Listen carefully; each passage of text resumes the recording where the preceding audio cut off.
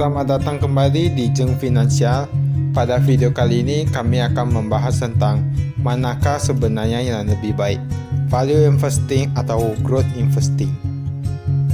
Namun sebelum kita mulai pembahasannya, jangan lupa untuk subscribe channel kami agar tidak ketinggalan info penting lainnya.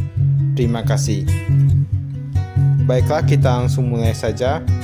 Sebenarnya growth investing boleh dibilang itu pelopornya adalah Katie Wood Ya, banyak orang yang mengatakan bahwa dia adalah rajanya ataupun ratunya growth investing. Sedangkan yang value investing itu rajanya yaitu Warren Buffett yang tentunya sudah cukup terkenal dan mungkin hampir setiap orang di seluruh dunia mengenalnya. Siapa yang tidak kenal Warren Buffett, investor paling sukses di dunia yang sudah terkenal saat ini? Namun muncul pertanyaan, akhir-akhir ini jika dibandingkan antara kinerja Warren Buffett dengan Katie Wood, boleh dibilang sangatlah jauh. Banyak orang yang melihat bahwa Katie Wood kinerjanya yang dari Art Group dari perusahaannya yaitu Art, mereka mencatatkan laba dalam satu tahun terakhir itu masih lebih tinggi daripada Berkshire Hathaway atau BH yang dimiliki oleh Warren Buffett. Artinya perusahaan yang, dimi, yang dipimpin oleh Cathy Wood menghasilkan kinerja yang lebih baik dalam satu tahun. Bahkan dilihat dari lima tahun, dari lima tahun terakhir, kinerja dari perusahaan milik Cathy Wood masih lebih baik, hampir lima kali lipat daripada perusahaan milik Warren Buffett. Jadi sebenarnya mana yang lebih baik, growth investing ataupun value investing? Dan mungkin uh, da, bagi anda sekalian ada yang masih belum tahu apa itu growth investing ataupun value investing. Kalau growth investing itu yaitu strategi investasi di mana mereka melihat perusahaan mana yang memiliki potensial untuk bertumbuh yang pesat ataupun cukup baik karena mereka menganggap bahwa harga saham akan berbanding lurus dengan uh, pertumbuhannya artinya semakin ekspansif perusahaan tersebut maka itu semakin baik. Artinya mereka tidak melihat apakah harga saham saat itu sudah tinggi ataupun masih murah. Mereka tidak melihat harga sahamnya. Mereka hanya melihat perusahaan itu dapat bertumbuh lebih cepat dan lebih baik lagi. Sedangkan value investing itu berbeda value investing itu lebih kepada mereka melihat mana perusahaan yang baik namun memiliki harga yang di bawah rata-rata ataupun harga di bawah nilai valuasinya.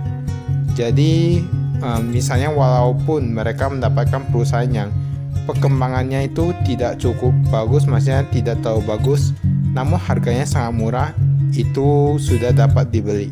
Itu sah-sah saja.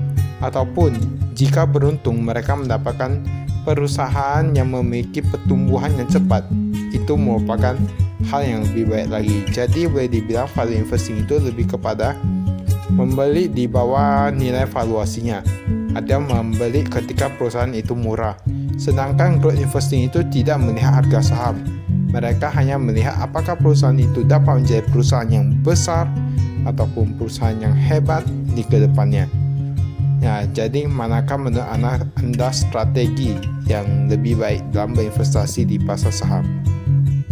Kalau bagi kami sih sebenarnya kami lebih menyukai sosok Warren Buffett. Kami sudah membaca bukunya dan kami merasa ini adalah strategi investasi yang lebih masuk akal. Ya, oleh karena itu kami lebih memilih value investing daripada growth investing. Namun, itu tidak menutup kemungkinan jika kami membeli perusahaan yang uh, pertumbuhannya itu boleh dibilang memiliki masa depan yang cerah walaupun harganya itu sudah agak mahal. Tentunya kami terkadang juga akan membelinya. Jadi sebenarnya itu semua sama saja. Mana strategi investasi mana yang lebih Anda pilih? Lebih baik Anda membuat uh, maksudnya membuat kriteria Anda sendiri, maksudnya karakter investasi Anda sendiri. Anda dapat menganalisa dan melakukan beberapa penelitian. Jika Anda mengikuti yang value investing, apakah Anda mendapatkan keuntungannya lebih banyak? Atau jika Anda mengikuti yang growth investing, apakah Anda mengikuti apakah Anda mendapatkan keuntungan yang lebih banyak? Jadi Anda dapat menganalisanya dan membandingkan sendiri. Karena kita tahu uh, emosional setiap orang itu berbeda. Kita tentunya ada orang yang uh, suka langsung menjualnya ketika melihat bahwa ekonomi ini tidak stabil. Ataupun ada orang yang hanya menyimpannya bertahun-tahun, berpuluh-puluh tahun un, un, hanya untuk menyimpan harga, uh, saham tersebut. Karena pada dasarnya harga saham memang akan terus meningkat jika perusahaan itu terus mencetakkan keuntungan.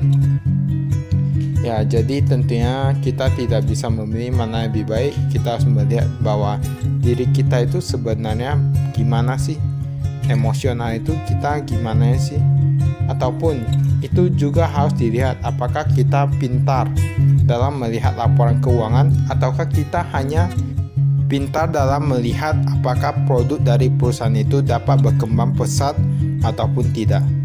Jadi uh, bisa dibilang lihat juga IQ kita ataupun EQ kita dalam berinvestasi. Ataupun kita tipikal orang mana? Apakah kita tipikal orang yang takut rugi? Ataupun kita tipikal orang yang uh, misalnya uh, serakah? Ataupun tidak takut rugi berani mengambil resiko dan yang lain sebagainya oleh karena itu, tentukan cara Anda berinvestasi sesuai dengan pilihan Anda sendiri. Manakah yang lebih baik? Tentunya Anda lebih tahu daripada kita semua. Baiklah, itu saja dari kami. Sekian dan terima kasih.